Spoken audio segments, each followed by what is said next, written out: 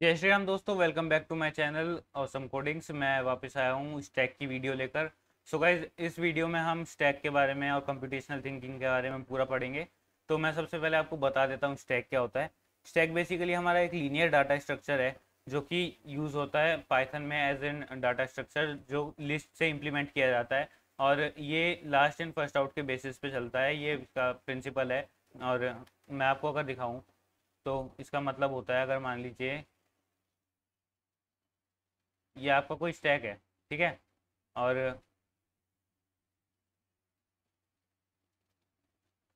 ये आपके कुछ जो आपके डाटा है, वो है, ठीक है? ये तीन डाटा हैं आपके पास।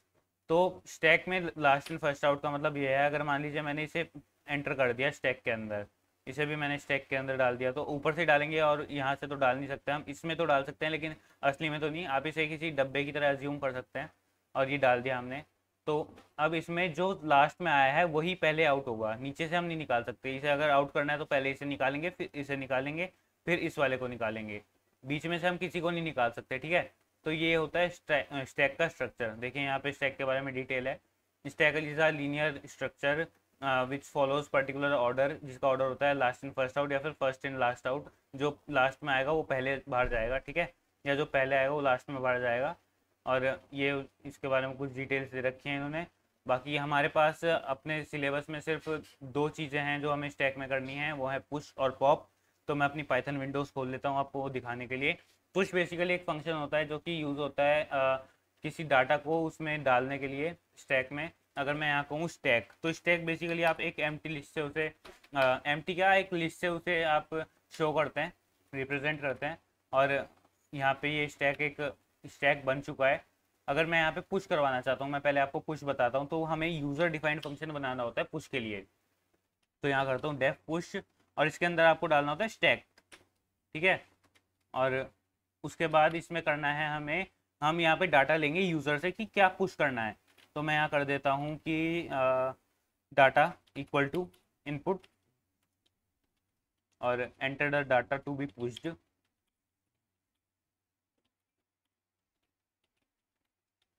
और इसके बाद स्टैक डॉट पुश डाटा ठीक है? और फिर इसे कॉल करना है हमें तो यहाँ पे पुश और इसके अंदर स्टैक अब इसे रन करूँगा मैं तो इसे सेव कर लेता हूँ स्टैक के नाम से। देखो enter the data to be pushed hello डाल देता हूँ यहाँ। एरर आया है। अच्छा मैंने अपेंड डालना था यहाँ पे पुश डाल दिया मैंने। स्टैक डॉट अपेंड होता है हमारा फ़ंक्शन ठीक है? यहाँ पे मैं एक न्यू लाइन कैरेक्टर भी डाल देता हूँ। रन करते हैं इसे। तो देखो enter data to be pushed hello हो गया वो पुश अब देखो, मैं यहाँ पे कर देता हूँ कि वो बार बार लेता है और बताए क्या पुश हुआ है। तो मैं सबसे पहले यहाँ प्रिंट कर दूँगा डेफ में ही स्टैक पुश में ही कि प्रिंट डाटा इज़ पुश्ड ठीक है? उसके बाद मैं एक इनपुट लूँगा और इसे ले लेता हूँ चॉइस इक्वल टू इनपुट इसमें डालता हूँ मैं प्रेस कैपिटल वाई या small Y to push more data और कैपिटल स्लैश एन डाल देता हूँ मैं न्यू लाइन कैरेक्टर के लिए और if choice in capital Y या small Y then then push करना है दोबारा और उसके डालना है स्टैक उसके अंदर, ठीक है? तो ये पुश करवाता जाएगा जब तक आप चाहोगे। अब देखो इसने पूछा enter data to be pushed मैं डालता हूँ अंश। और पुश करना है, अंश इज़ पुश्ड और कुछ पुश करना है यस आयुष और कुछ पुश करना है, नहीं डाल देता हूँ मैं। तो उसने एग्जिट कर दिया। ये दो पुश हो गए होंगे इसमें। चलिए मैं लास्ट में स्टैक को भी प्रिंट करके दिखा देता हूँ। प्रिंट स्टैक एफ़ फाइव करते हैं। देखो यहाँ पे अंश डाल देता हूँ। उसके बाद आयुष डाल देता हूँ। उसके बाद मैं हर्ष डाल देता हूँ। और फिर नो डालता हूँ यहाँ पे। स्टैक प्रिंट हो गया हमारा अंश, आयुष और हर्ष, ठीक है? तो ये होता है हमारा पुश फ़ंक्शन उसके बाद आता है हमारा पॉप फ़ंक्शन पहले मैं इसे कट कर लेता हूँ। तो पॉप बेसिकली जो लास्ट वाला एलिमेंट होता है, उसे डिलीट करने के लिए यूज़ होता है। जैसे लास्ट इन फ़र्स्ट आउट वाला जो था, उसके हिसाब से तो जो लास्ट में आउट इन हुआ है, वो पहले आउट होगा। उसके लिए पॉप यूज़ करते हैं हम डिलीट करने के लिए। तो मैं करूँगा डेफ पॉप इसके अंदर हमें स्टैक लेना है एज एन आर्ग्यूमेंट और अभी तो इसको मैं कर देता हूँ पास उसके बाद स्टैक बना देता हूँ मैं खाली लिस्ट ठीक है? और पॉप कर देता हूँ स्टैक बल्कि यहाँ प्रिंट करते हैं हम। स्टैक डॉट पॉप बल्कि pop stack stack dot pop नहीं पॉप और स्टैक ऐसा करें या फिर इसे हम पॉप में ही यूज़ कर लें। हाँ इसे पॉप में यूज़ कर दें। प्रिंट को ना हम पॉप ही कर देता हूँ, अभी पॉप स्टैक ठीक है? और पॉप में आते हैं। तो बेसिकली लिस्ट का हमारे पास एक फ़ंक्शन होता है डॉट पॉप करके। वो यही काम करता है जो हम करना चाह रहे हैं। तो मैं यहाँ कर दूँगा स्टैक डॉट पॉप ठीक है? लेकिन अगर मैं ऐसे ही इसे रन कर देता हूँ तो मुझे पता नहीं चलेगा कि क्या पॉप हुआ है। तो मैं यहाँ ऐसे प्रिंट कर दूँगा। Print stack dot pop comma is popped और दोस्तों तुम सोच रहे होगे कि मैंने ये प्रिंट के अंदर ये फ़ंक्शन क्यों यूज़ किया? अलग से भी तो मैं इसे स्टोर करके यूज़ कर सकता था। नहीं।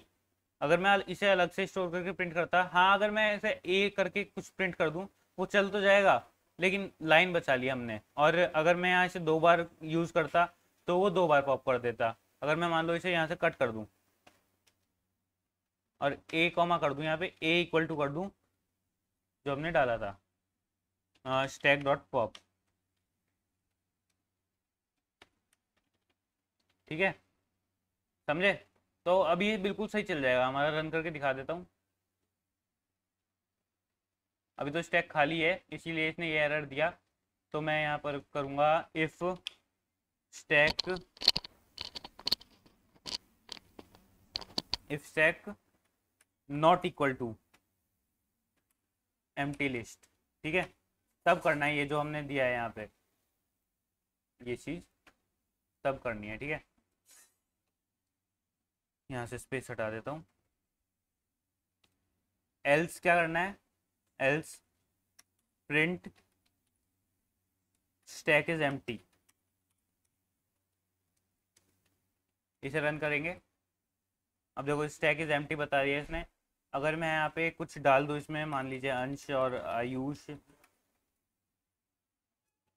और हर्ष। तो देखो, इसमें लास्ट में हर्ष है हमारे पास। ठीक है? तो ये सबसे पहले हर्ष को पॉप करेगा।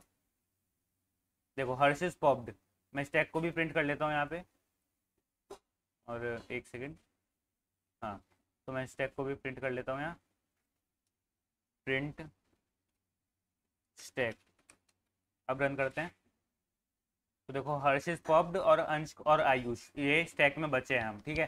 तो ये होता है हमारा पुश और पॉप फ़ंक्शन अब मान लीजिए मेरे को दोनों एक साथ करने हैं तो एक प्रोग्राम बनाते हैं पुश और पॉप को दोनों को लेकर। ठीक है? तो मैं पहले एक स्टैक ले लेता हूँ। स्टैक को एम लिस्ट और वाइल्ड ट्रू में चलाता हूँ, ताकि वो बार बार देता रहे। वाइल्ड ट्रू उसके बाद इनपुट ले लेते हैं डाटा करके, बल्कि चॉइस करके ले लेते हैं। चॉइस इक्वल टू यहाँ पे इक्वल टू नहीं आना। इनपुट और इंट इनपुट डालते हैं। इंट इनपुट एंटर या press one to push element उसके बाद न्यू लाइन कैरेक्टर फिर डालते हैं press two to pop element फिर न्यू लाइन कैरेक्टर और press anything else to break, ठीक है? समझे? इनपुट में डाल दिया हमने ये। एक मिनट, मैं इसे यहाँ से कहीं से बीच से तोड़ देता हूँ, ताकि हमें दिख जाए और यहाँ पे डाल देता हूँ मैं ट्रिपल कोट्स ताकि वो मल्टीपल लाइंस के लिए ले ले उसे, ठीक है? मल्टीपल लाइन स्ट्रिंग्स के लिए यूज़ होते हैं ट्रिपल कोट्स अब चॉइस आ गई हमारे पास। अब मुझे कहना है कि इफ़ यहाँ पे एक और ब्रैकेट आएगा लास्ट में। ठीक है? इफ़ जो चॉइस है हमारी if choice equal equal to one then कर दो कि स्टैक में हमें पुश करना है, ठीक है? तो push stack elif stack stack नहीं choice equal equal to two then pop कर दो स्टैक से। ठीक है? यहाँ पे एक ही ब्रैकेट आएगा। और एल्स कर दो ब्रेक ठीक है? और यहाँ पे डेफ कर देता हूँ। डेफ पुश उसके अंदर लेंगे हम स्टैक और यहाँ पे कर देंगे data equal to input enter data to be push to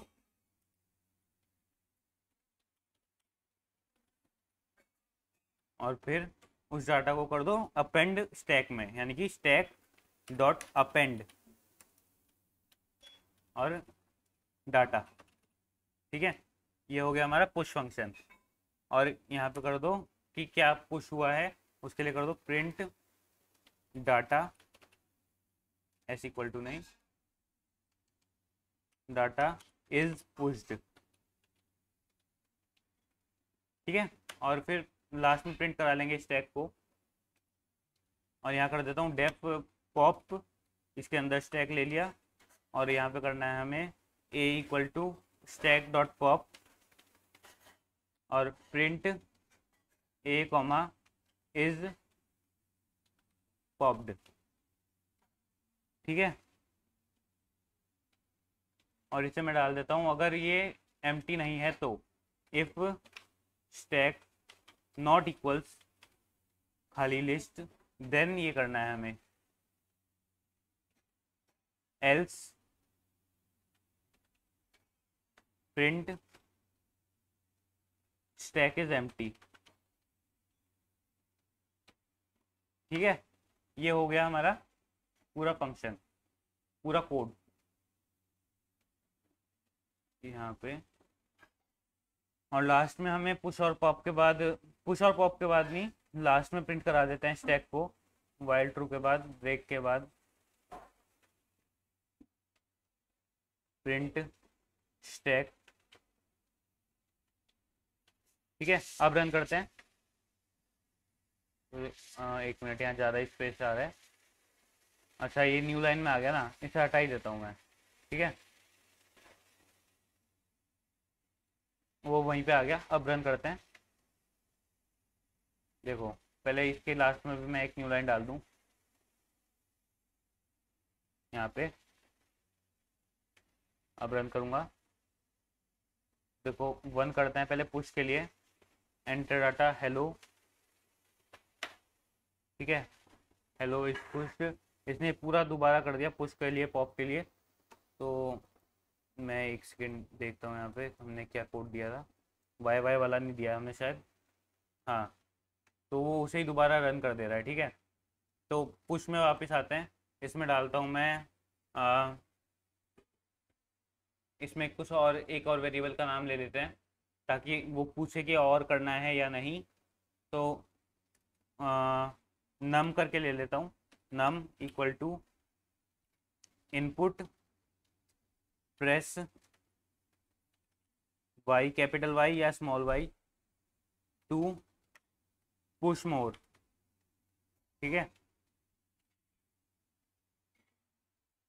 और फिर if num in capital Y या स्मॉल वाई देन पुश को दोबारा चला दो स्टैक के साथ। ये रिकर्जन हो गया हमारा। ठीक है? सेम चीज़ हमें पॉप में करनी है। इसे कॉपी करके डाल देता हूँ पॉप में। और यहाँ पे पॉप मोर कर देता हूँ।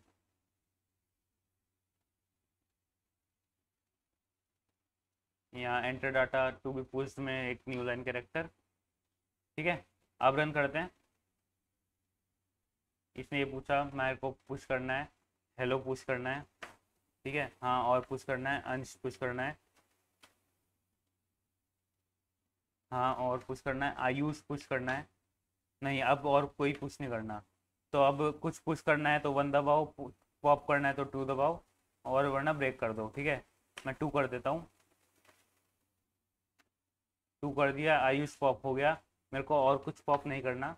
तो अब यहाँ पे एनीथिंग एल्स दबाना है एफ़ दबा दिया मैंने। इंट है इसलिए हम आ, ये नहीं दबा सकते तो मैं वहाँ पे हटा देता हूँ एनीथिंग को।